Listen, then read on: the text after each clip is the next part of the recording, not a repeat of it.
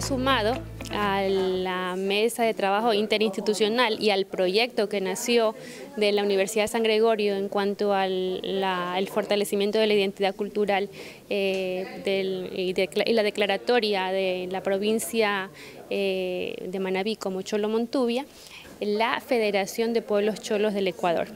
Eh, ha estado aquí el presidente de esta federación y ha firmado en esta mañana eh, un convenio interinstitucional y pues también eh, se suma a la mesa de trabajo. ¿no? Hay más objetivos en común.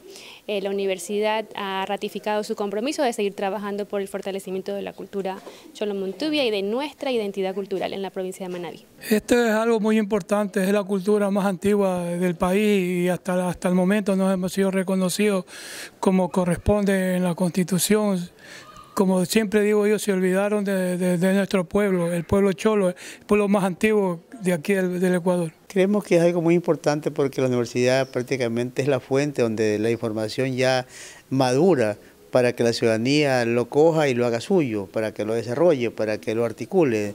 Esta universidad, como las otras universidades de la provincia de Manaví, se han unido y eso es algo muy fabuloso.